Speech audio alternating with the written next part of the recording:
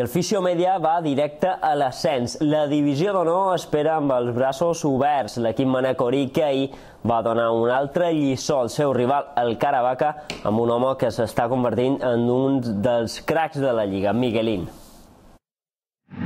Un dels culpables d'aquesta trajectòria és Miguelín, l'home gol del Fisiomèdia que ha acabat per explotar aquesta temporada com un home imprescindible per l'entrenador Pato.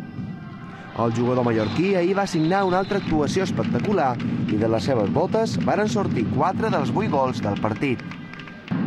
Va ser l'encarregat d'obrir el marcador la primera meitat, aprofitant una errada defensiva de l'equip murcià.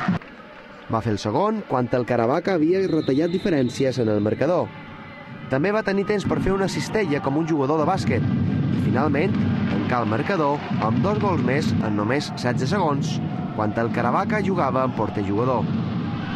Ara per ara, Miguelín és un dels màxims golejadors de la categoria de plata amb 24 gols.